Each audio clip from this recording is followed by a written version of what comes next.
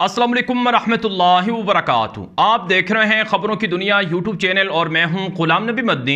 आज 16 नवंबर 2022 है और आज दिन है बुध का। नशीन कराम पोलैंड पर रूसी हमले के बाद दुनिया के अंदर तीसरी आलमी जंग का तबल बच चुका है। तीसरी आलमी जंग के ख़तरात मंडला रहे हैं। हैरत अंगेज़ तौर पर जिस तरह से दुनिया के अंदर उन्नीस सौ उनतालीस में वर्ल्ड वार टू शुरू हुई थी, दूसरी जंग शुरू हुई थी। वो भी पोलैंड से शुरू हुई थी और इस मरतबा जो तीसरी आलमी जंग है, वो भी पोलैंड से शुरू होने जा रही है। इस हवाले से नाजिन कराम, रात गए, रूस के जानब से कुछ मिज़ाइल फायर हुए हैं जो पोलैंड के अंदर जाकर गिरे हैं। इल्ज़ाम लगाया जा रहा है पोलैंड की जानब से कि रूसी मिज़ाइलों ने पोलैंड के अंदर तबाही मचाई है। दो पोलैंड के शहरी मारे गए हैं, जबकि दो दर्जन से जायद पोलैंड के शहरी ज़ख्मी हुए हैं। और मादी तौर पर भी बड़ा नुकसान हुआ है। नाजिन कराम, पोलैंड के अंदर जो मिज़ाइल गिरे हैं, इन मिज़ाइलों के गिरने के हवाले से रूस ने कहा कि ये मिज़ाइल हमने नहीं मारे हैं और ना ही हमारा इस हमले से कोई ताल्लुक है। हमने पोलैंड पर हमला नहीं किया है, लेकिन पोलैंड ये कहता है कि हम पर रूसी मिज़ाइलों आए हैं और पोलैंड ये इल्ज़ाम लगाता है कि इसकी वजह रूस है। जबकि नाजिन कराम, जी सेवन कंट्रीज़ का, यानी जो नेटो ममालिक है, उनका भी और उनमें से जो जी सेवन कंट्रीज़ हैं उनकी एक मीटिंग इंडोनेशिया के अंदर हुई है, जहाँ पहले ही जी ट्वेंटी समिट हो रही है और आलमी रहनुमा वहाँ मौजूद हैं।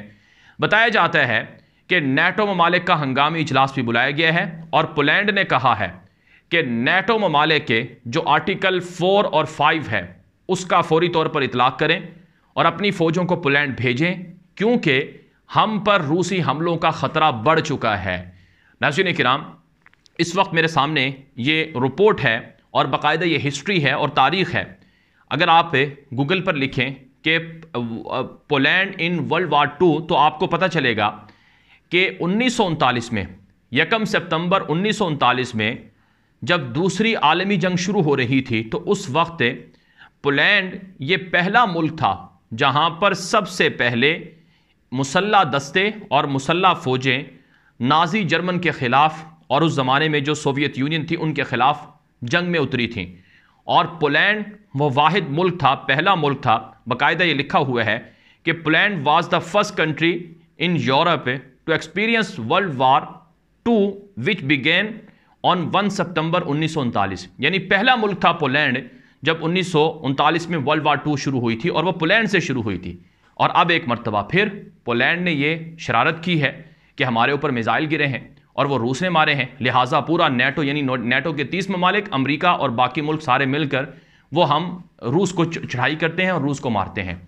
नासिन कराम, इससे पहले मैं वी लॉग के अंदर बता चुका हूँ कि नौ महीने की जो रूस और यूक्रेन की जंग है, इस जंग में जितना असलहा अमरीका ने, यूरोप ने यूक्रेन को पहुँचाया है, वो पोलैंड के ज़रिए से पहुँचाया गया है।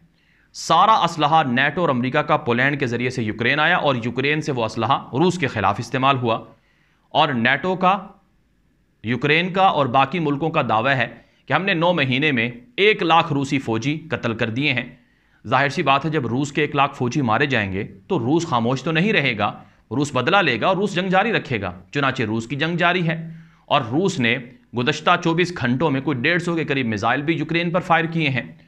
अब आने वाले दिनों में हालात और ज़्यादा गंभीर होते जा रहे हैं, क्योंकि नाजिन कराम पोलैंड ने नेटो से आर्टिकल फोर और फाइव के इतलाक़ का मुतालबा किया है, जिसका मतलब यह है कि नेटो के किसी रुकन मुल्क पर अगर हमला होता है तो तमाम के तमाम नेटो ममालिक मिलकर हमला करेंगे और तमाम के तमाम नेटो ममालिक अपनी फ़ौजें, असलहा उस मुल्क को देंगे जिस पर हमला हुआ होगा।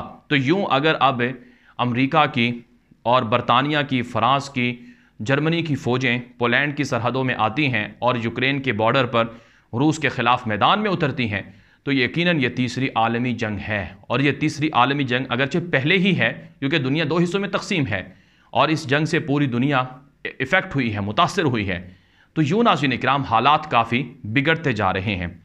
दूसरी जानब, रूस ने भी वार्निंग दी है कि अगर नेटो, यूरोप और अमरीका मिलकर रूस के ख़िलाफ़ जंग में उतरते हैं तो फिर प्यूटन खामोश नहीं रहेंगे। रूस खामोश नहीं रहेगा और रूस अपनी सलामती और ख़ुद मुख्तारी के लिए हर हद तक जाएगा, यहाँ तक कि एटम बमों का भी इस्तेमाल करेगा।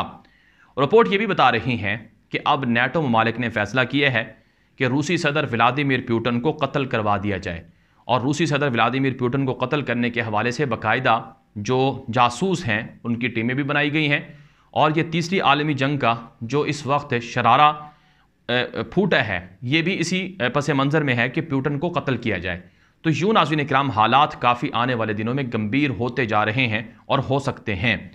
इसके अलावा, जो जी ट्वेंटी समिट हुई है इंडोनेशिया के शहर बाली में, जिसमें दुनिया की 20 बड़ी मीशतों के जो सरबराहान हैं, वो शरीक हुए हैं। अमरीकी सदर जो बाइडन, कैनेडा के वज़ी अजम जस्टिन ट्रोडो और इसी तरह से फ्रांस के सदर Emmanuel Macron, German chancellor Olaf Scholz और सऊदी अरब के वली अहद मोहम्मद बिन सलमान और तैयब उर्दवान इंडोनेशिया के बादशाह, भारत के वज़ी अजम नरेंद्र मोदी और इसके अलावा जो इटली की खातून वज़ी अजम है मिलियोनी और बाकी लोग जो शरीक हुए हैं, उन सबने चीन के सदर शी जिनपिंग भी शरीक हुए हैं, जो कि मरकज़ी निगाह के हामिल थे। तो इस समिट के अंदर जी ट्वेंटी समिट का जो एलामिया जारी हुआ है, जो फ़ाइनल एलामिया है, उसके अंदर ये मुतालबा किया गया है। कि रूस और यूक्रेन की जंग को बंद किया जाए। रूस से भी मुतालबा किया गया है कि वो ये जंग बंद करें और यूक्रेन से भी मुतालबा किया गया है कि ये जंग बंद की जाए। और सबसे अहम वो चीनी सदर शी जिनपिंग का धमाकेदार बयान था जो उन्होंने दिया है। चीनी सदर शी जिनपिंग ने कहा कि ये जंग दुनिया के अंदर मुख्तलिफ़ मसाइल का सबब बन रही है। लिहाजा इस जंग को रोका जाए, इस जंग को बंद किया जाए। अगर ये जंग नहीं रोकी जाती है तो पूरी दुनिया इससे मुतासर रहेगी। नाजिन कराम, बताया जाता है कि चीन हकीकता और अमला वो रूस का इतिहादी है इस जंग में। लेकिन इस जंग के रुकवाने में चीन के सदर शी जिनपिंग का मुतालबा रूस से भी है। और चीनी सदर शी जिनपिंग इससे पहले रूस से ये मुतालबा कर चुके हैं कि प्यूटन और बाकी यूरोपी ताकतें जिनके पास एटमी हथियार हैं, वो ज़िम्मेदारी का मुजाहरा करें और एटमी जंग शुरू करने के हवाले से जज्बाती बयान मत दें और एटमी हथियारों को अपने कंट्रोल में रखें। अगरचे चीन रूस की मदद कर रहा है, लेकिन चीन भी चाहता है कि ये जंग बंद हो। और इस जंग के बंद होने की वजह यह है क्योंकि चीन की भी भारी सरमाकारी है। यूरोप के अंदर बाकी मुल्कों में उस सरमाकारी को नुकसान हो रहा है। और इस जंग की वजह से चीन को भी मुख्तलिफ़ तरह के जो दुनिया के अंदर मसाइल हैं, उनका सामना करना पड़ रहा है, मसलन महँगाई तोानाई की गिलत वगैरह का। तो चीन भी चाहता है कि ये जंग बंद हो, लेकिन जो रूस की जानब से, चूँकि सदर प्यूटन तो इस समट में शरीक नहीं हुए, लेकिन रू, उनकी नयाबत की है, जो वज़ी ख़ारजा हैं सरगय लारोफ, उन्होंने उन्होंने कहा कि जी ट्वेंटी समिट को रूस के अगेंस्ट इस्तेमाल करना, ये ठीक नहीं है। उन्होंने कहा कि जी ट्वेंटी समिट में रूस ने यह वाजे किया है कि हम तो मुजाकर चाहते हैं, लेकिन मुजाकर के लिए संजीदा यूक्रेन नहीं है, और यूक्रेन की मदद नेटो और अमरीका और यूरोप कर रहा है।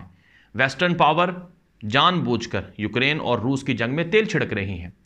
उन्होंने कहा कि हम तो मुजाकर को तैयार हैं, लेकिन यूक्रेन को बदमाशी की शह यूरोप और अमरीका दे रहा है और यूक्रेन के अंदर अमरीका असलाह पहुँचा रहा है, मज़ीद जंग पर उकसा रहा है और यूरोप और वेस्टर्न पावर्स ने जो यहाँ बायो लैब बना रखी हैं, बायोलॉजिकल वेपन्स की तैयारी के जो वायरसेस तैयार कर रहे हैं, उस हवाले से तहकीकत क्यों नहीं करते हैं?